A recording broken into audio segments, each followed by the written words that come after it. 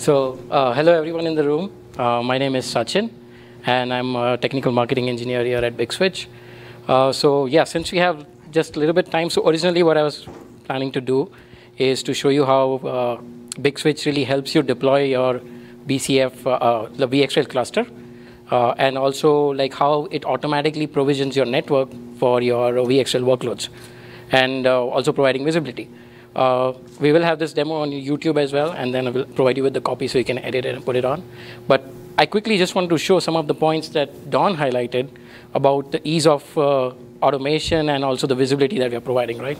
So I'll just skip to that part quickly. So just to show you quickly the topology right now. So what we have here is we have a three rack uh, big switch uh, setup, right? And it's controlled by our big switch controller. And we are having uh, three VxRail nodes that are connected to each of these racks. And we are provisioning some VM workloads on top of it, right? So traditionally, if you think, uh, uh, as Don was mentioning, you would have to uh, spin up, create the port groups on your vCenter, put the workloads on those uh, port groups. And then in your network, you need to create uh, trunks for those VLANs, define the VLANs, create the trunks for the VLANs, and also put them on the interfaces on each of the hosts where they're connecting, right? So we'll see how Big Switch will automate all that for you so that you know, network engineers can focus on more critical tasks like optimizing a network or securing a network rather than you know, doing the repeated task. So we'll skip through these slides. Okay, so I have a cluster here which is vSAN enabled and we have three VxRail nodes on it, right? And we have the VM1 and VM2 spun up on different VxRail nodes. So right now what I'm doing is I'm just opening up pinging from VM2 to VM1 and the ping fails. This is because no network has been provisioned yet, right? I've just connected the VxRail nodes. Now what I do is basically I go to the big switch GUI, right? And I add the integration for vCenter. What I'm doing, I'm specifying the vCenter IP login and enabling my automation. So after I do this, what Big Switch does is programmatically integrates with vCenter, reads all the port group information and where the VMs are connected to, and I'll automatically program those networks on my fabric. So as you can see here, uh, I've created the segment corresponding to the port group where the VMs are connected. I've automatically provisioned those VLANs on the interface groups where uh, those VMs are connected to, right? And now I can see those two VMs have been discovered in that segment. So after I do this, the ping starts working. So, and the user did not have to configure anything on the network. All they had to do was just point it to the vCenter, and everything was taken care. And Don mentioned again about the vMotion stuff, right? So how, how do we do that? So right now I spun up an, uh, another VM, VM3, which is sitting on VxRail node 2, right? And in port group VLAN 100. So as you can see, I have automatically created a segment for that uh, port group. I have my VLAN 100, being, uh, which is being trunked on the interface uh, to the host where that VM is sitting right now.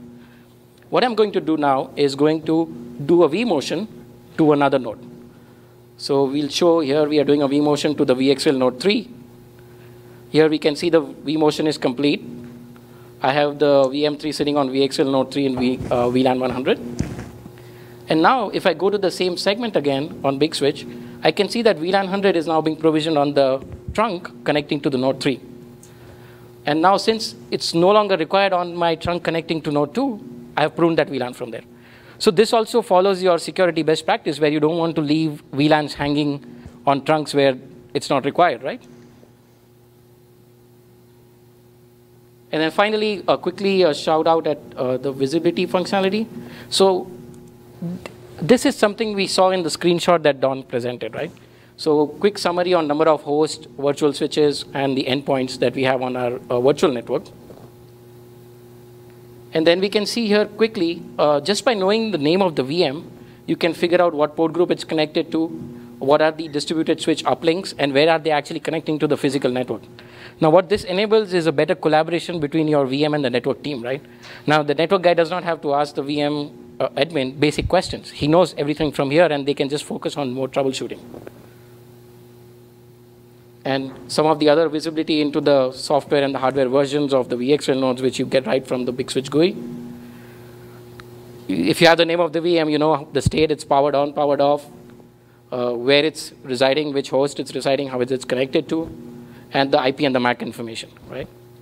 And the last thing I want to just quickly highlight here is the analytics, right?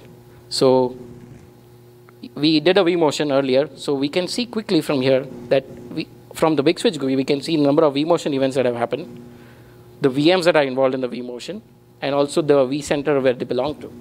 So as Don was mentioning, he gets a call, and he can quickly see here that what time the vMotion started and what time it ended, right from the big switch GUI. And finally, to make the troubleshooting easy, uh, so we provide a feature called uh, as a fabric trace here.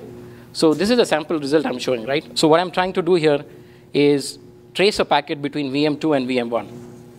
So if you see in a traditional network, I would have to log into each of the switch, figure out the MAC address table, correlate them with multiple switches, and then I would know the exact path of the packet, right? Here, with just one click, what I do is basically provide the source IP, destination IP, and do click trace. And once that is done, I can see exactly what switches the packet passed through, what are the ingress and the egress interface on each switch, right? So if the trace failing at a certain point, I would exactly know where it is failing, and I can go troubleshoot those switches, right? So uh, provides really good visibility and ease of troubleshooting in the virtual workloads right from the Big Switch uh, uh, GUI environment. Sorry for going fast, but I know I, had, I just had like a couple of minutes to present. So uh, this is the end of the demo, and thanks, guys, again for Can I get one question in? Yeah.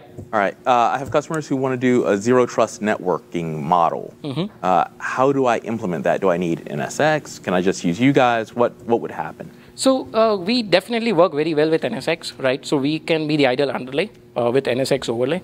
And then if you're doing microsegmentation and things from the NSX, that still works.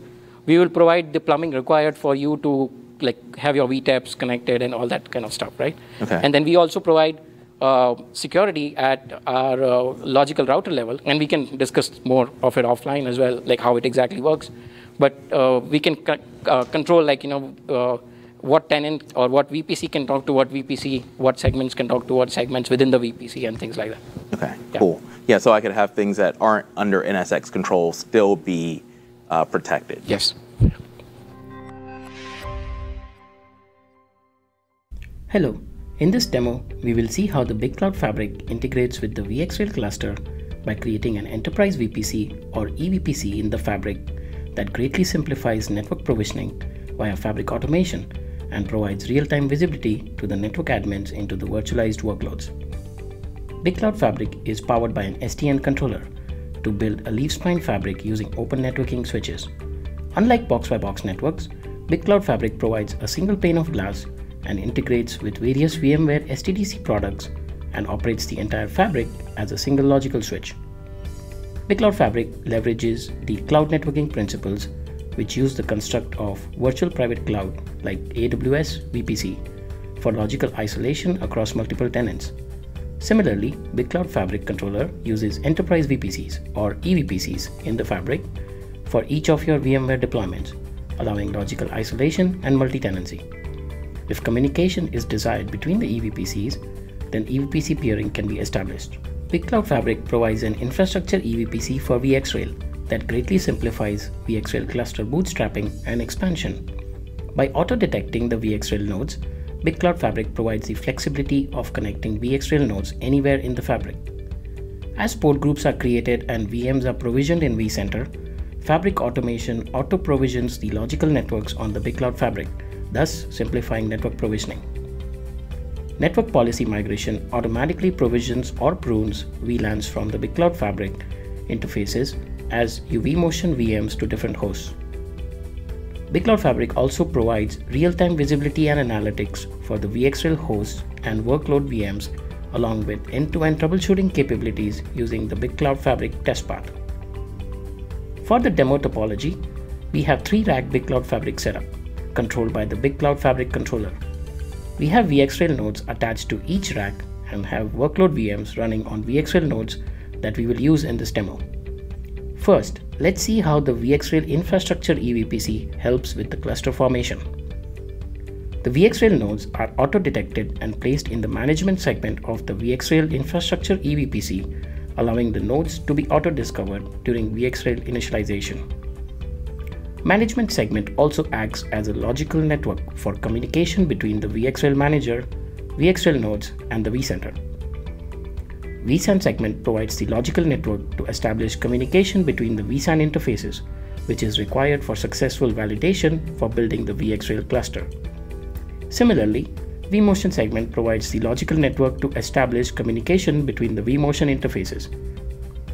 Here we can see that the management, vSAN and vMotion segments have been created in the VxRail infrastructure eVPC. We connect to the VxRail manager initial IP address to begin deployment. VxRail Manager is able to discover the nodes as BCF auto-discovered the VxRail nodes and placed them in the management segment. After filling out the required details, we begin the validation. Since BCF auto-discovered the vSAN and the vMotion interfaces, vSAN and vMotion connectivity is successfully verified. As we can see here, the cluster is now successfully deployed. We log into the VxRail Manager and verify the health of the cluster. In vCenter, we can see that the VxRail nodes have been added to the vSAN enabled cluster. Next, we will see how the network provisioning is simplified for the VxRail workload VMs. We have created VM1 and VM2 as our workload VMs sitting on different VxRail nodes. Ping from VM2 to VM1 fails as the network is not provisioned yet. We will enable the vCenter integration so that we can create the VxRail workload eVPC. Once the integration is enabled, we can see that the segments for the workload VM is auto-created. VLAN 50, which is being used by the workload VMs, is automatically trunked on the interfaces connecting to the relevant VxRail nodes, and the VMs are auto-discovered in that segment. As we can see, the previously failing pings are now working. Next, we will see how the network policy migration works when performing vMotion. VM3 is currently residing on VxRail node 2 in port group VLAN 100. We will move it to VxRail Node 3 and see how BCF migrates the network policy. Since VM3 is currently on VxRail Node 2, we can see that VLAN 100 is trunked on the interface connecting to VxRail Node 2. We now initiate the vMotion. Once vMotion is completed, VM3 is now residing on VxRail Node 3 we can now see that VLAN 100 is being trunked on the interface connecting to VxRail Node 3. Since VLAN 100 is no longer required on interface connecting to VxRail Node 2, it is automatically pruned from that interface. Next, we will see how the BigCloud Fabric provides real-time host and VM level visibility and analytics along with end-to-end troubleshooting capabilities using BCF Testpath. BCF provides quick summary of number of VxRail hosts, virtual switches, endpoints, and port groups defined in the vCenter. Scrolling down, we get an easy to interpret graphical representation of vSphere networking showing the virtual switches on each host, port groups on the virtual switch with the attached VMs, virtual switch uplinks, and interface on the big cloud fabric where the virtual switch uplinks are connected to. We can also see the details about the VxRail nodes like the hardware and the software version and also the CPU and the memory stats.